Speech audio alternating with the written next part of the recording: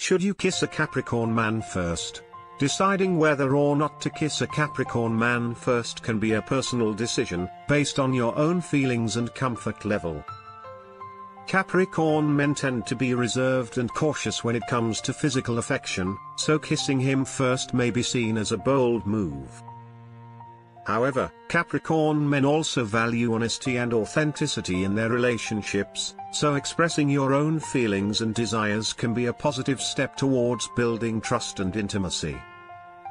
It's important to consider the individual Capricorn man's personality and communication style when making this decision, as well as the current state of your relationship.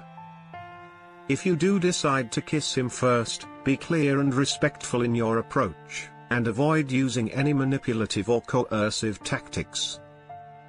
If you're unsure about whether or not to make the first move, consider talking openly and honestly with your Capricorn man about your feelings and desires, and let him take the lead if he feels more comfortable doing so.